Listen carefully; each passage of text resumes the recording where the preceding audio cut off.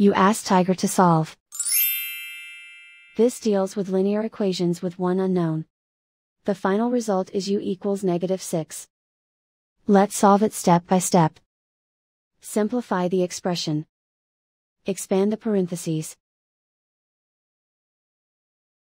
Simplify the arithmetic.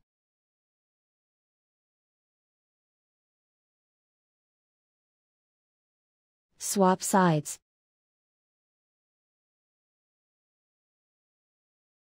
Group all constants on the right side of the equation. Subtract 62 from both sides. Simplify the arithmetic.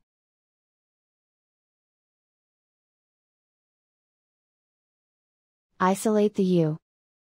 Divide both sides by 9. Simplify the fraction. Find the greatest common factor of the numerator and denominator. Factor out and cancel the greatest common factor. And so the final result is u equals negative 6.